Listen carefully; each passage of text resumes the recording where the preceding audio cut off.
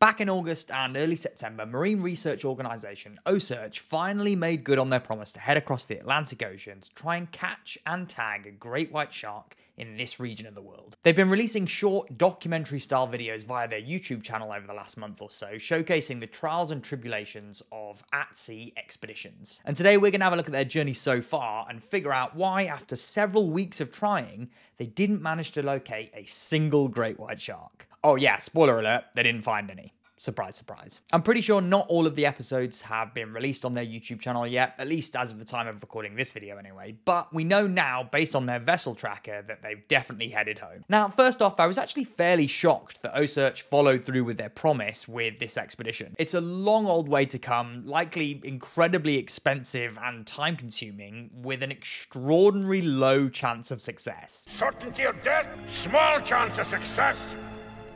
What are we waiting for?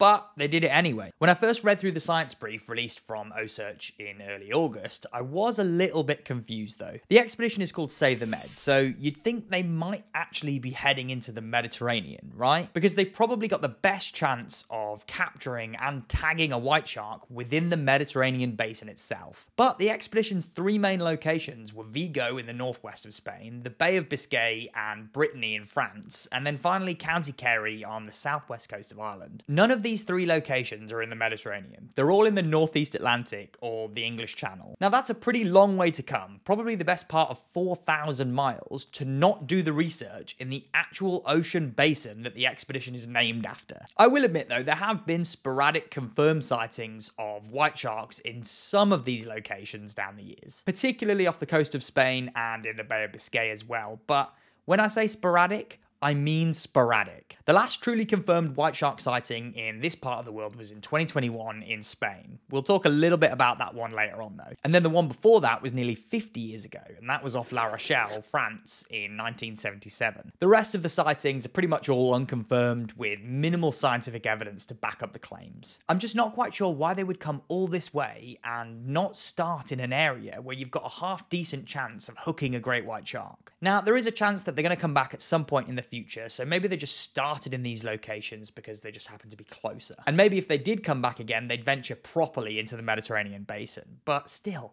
why not start there? One of the reasonings that I can see provided in the scientific brief that they released is that they say the sightings of white sharks in these areas are likely from white sharks that have left the Mediterranean and have gone to forage in the Northeast Atlantic. They've not referenced that claim anywhere in the brief, and from what I can see, the only people saying that are OCEARCH themselves. I've not been able to find that referenced in the scientific literature, so I'm not quite sure where the claim has come from other than OCEARCH. But the reason why there's no scientific evidence on that is because those sightings in the Northeast Atlantic have been so, so scarce over the last 50 years. So no one's managed to catch one and perform DNA analysis on it to show you, yeah, this one's definitely from the Mediterranean basin, or yeah, this one's from the Western Atlantic population. We, of course, can't know for sure. It could easily be either one of them. At the beginning of their mini-series on YouTube, they also gave some further explanation as to why they weren't heading actually into the Mediterranean itself. Chris Fisher, the founder of OCEARCH, explains that based on their own experience working with these animals in the West Western Atlantic, they believe it's easier to find white sharks in their foraging areas. And I wouldn't disagree with that statement at all. The hotspots for white sharks around the world are almost all exclusively places where they feed. All of the white shark tourism operators in South Africa were around massive seal colonies in Cape Town and Gansbaai. You've got Guadalupe in Mexico and then the eastern Atlantic coast as well. These are all big feeding hotspots for white sharks, and that is where your chances of seeing them are, of course, going to be greater. But where they've got the idea of apparent white sharks sharks here in the Northeast Atlantic are consistently feeding off the coasts of Spain, France, and Ireland,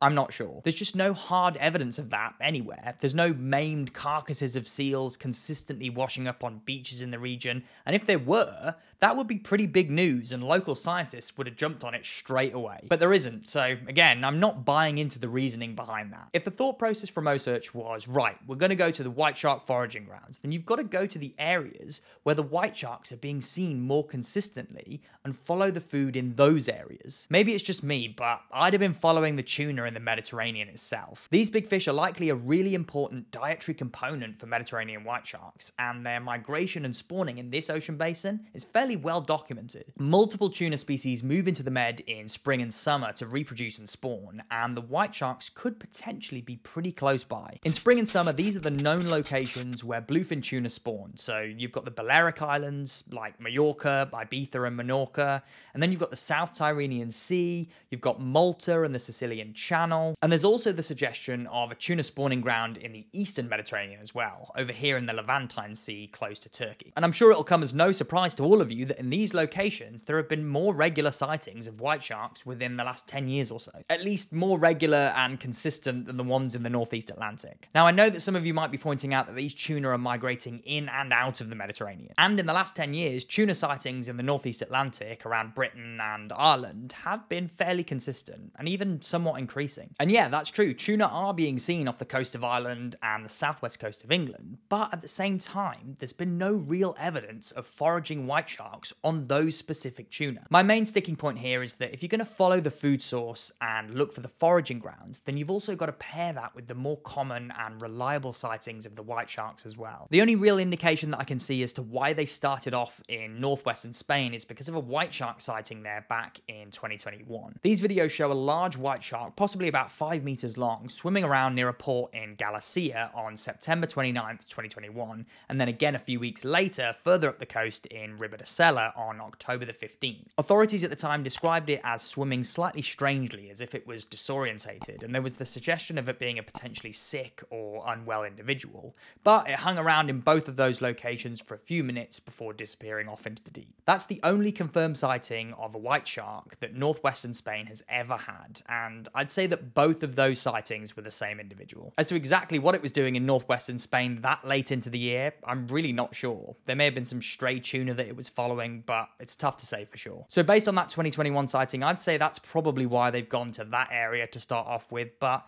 it's a bit of a shot in the dark compared to some of the more common sightings that we're getting in the actual Mediterranean itself. So they chose to go with their plan, and that's their decision. I just think, though, from a science perspective, it wasn't the right call if they actually wanted to get some white sharks, but that's just my opinion. Now, so far in this video, I'd say I've gone in fairly hard on OCEARCH and this expedition. I'll be honest, I've got a few reservations about the organization itself and how they conduct their work. They're a bit cowboy and gung-ho in their approach to working with large shark species and have regularly been criticized for their removal of white sharks from the water while they're collecting data. OCEARCH founder Chris Fisher is no stranger to controversy as well. He's been criticized in the past for essentially getting in the way of longer-term studies on white sharks in New England and potentially directly impacting the results of those studies. There's a sort of unwritten code in science, and that's if someone is working on a specific topic in a certain area, don't blaze on in there and mess it all up. And OCEARCH absolutely have a history of doing that, so I myself don't really tend to look on them too fondly. Now, regardless of what you think about the organisation itself and their members of staff, I'd be remiss in not pointing out some of the things that I thought were pretty good from this expedition. The first of which was their documentation and discussion of a shark entanglement while they were off the coast of Brittany. In episode 3, a blue shark that they managed to capture was entangled with a plastic ring around its head, which had started to cut into the shark. After capturing the shark, they were able to release it from the plastic ring and return it back to the ocean, and they had a good discussion about the threats some of these animals face from plastic pollution. I have got in contact with Armelle Jung, one of the scientists who they were collaborating with on this section of the expedition, and hopefully I'll be able to get this sighting shared on the Shark and Ray Entanglement Network, which is a project that I founded a couple of years ago. So fingers crossed she gets back to me. And then the second thing that I quite liked was that across the episodes,